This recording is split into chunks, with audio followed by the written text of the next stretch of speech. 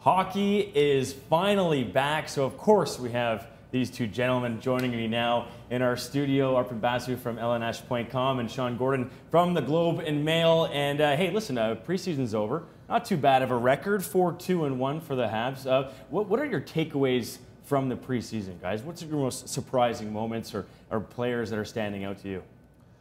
Well, my biggest takeaway from the preseason is what was that you know, in years past, there were always questions involving sort of the frontline players.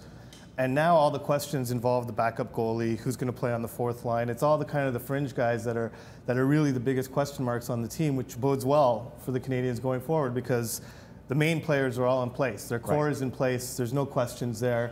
Um, and really, the debates during preseason were really trivial in the grand scheme of things because the main the things that were important are pretty much set in stone. That's good news for the Habs, right? To me, yeah. I guess the story is that it's kind of there's no story here, right? Like it's yeah. a little uneventful, um, and I think by and large that's a good thing. I will say that it's a slightly bad thing in that you kind of expected to see somebody kind of say, okay, I'm, I'm, I'm bursting through the door here, a la Brendan Gallagher uh, or Alex Galchenyuk Hasn't a couple uh, of years PK ago. done that? I think uh, yeah, well, his preseason's you know, been really good. Yeah, I mean, but he makes it nine, seems like yeah, we're getting our money's worth. Yeah, but he makes, broke that door down yeah, a long time say, ago. Like, but he makes nine million bucks a year. Like after that big contract, though, right? You got to come in and play the way he's playing. I suppose, but like, where's you know, where's you know, Jiri Sekac, I expected to be a little better. Uh, I think he's all right. He'll be fine, but he's just one of those third third line kind of. That does go back to my point. I mean, you talk about Brendan Gallagher, even Michael Bournival. In the past, there was room for guys like this to break through the door I in suppose. the preseason, yeah. and there just isn't anymore. Yeah, fair enough. Mm-hmm. Okay, well, uh, speaking of surprises, Peter Budaj being traded. What do you guys think about that? Not a surprise. Yeah. Not a yeah. surprise. Not I figured the minute the minute that, and of course.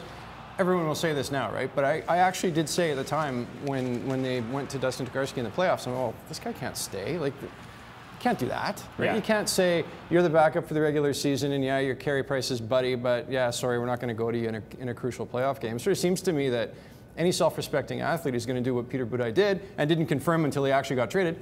You know what? Get me out of here. And that's that's actually the I, I wouldn't say surprise because Peter Budaj has always acted as a professional, as a really class guy. Yeah. Uh, but the fact that it did not come out at all from all the way back in May until the time he got traded that he had actually asked for a trade uh, is really a compliment to him and the way he handles things because it could have become just a total mess and all can't be like Peter Budaj, when's he going to get traded, when's he going to get traded.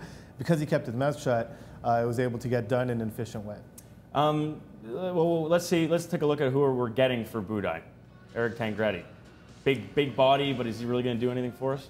I would be very surprised if he plays more than a handful of games for the Montreal Canadiens yeah. this year. I, he's a decent he's a decent fourth line player. Uh, he's not bereft of skill. Uh, he's a former second round pick, I believe. He was a fairly high pick.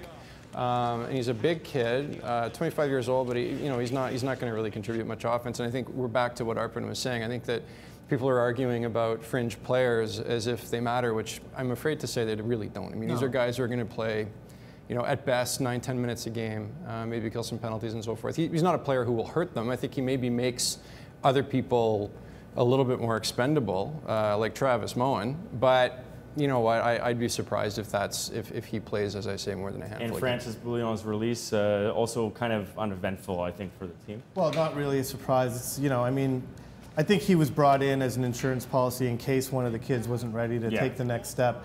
And I think one of the kids would have had to really fall flat on his face and almost break his face on that fall for Francis Bouillon to get right. a contract with the Canadiens. But, you know, they gave him the courtesy to come in on a tryout. They let him stay till the end of camp. Uh, but, you know, the writing was on the wall. Even the way he played in the preseason, you could see that uh, the game has passed him by to a certain extent at his age. Okay, so speaking of the kids then, uh, or maybe or maybe not, with the veterans as well, who and, or what are you keeping an eye on as uh, we kick off the season? Alex Galchenyuk. Alex Galchenyuk is the guy who will. Let's not get too hyperbolic here. Is going to make or break the team, but it, a lot, a lot goes through Alex Galchenyuk on this uh, on this team now. He could be the difference between an elite team and a very good team. Exactly. I mean, that's, exactly. That's what the difference exactly. he can make. And I think, I think we're, you know, I think we're both probably looking at what can this guy do with a really like a, a frontline featured role, power play time regularly, um, playing second line, top line minutes this is a guy, this is, his time is now. And I think that he's a guy who could put up huge numbers of points. He could contend for the scoring lead of the team. Going to be an exciting season. Uh, we can't wait. And uh, lots, uh, lots to look forward to, it looks like, uh, with the Habs. We'll see you guys next time. To be continued.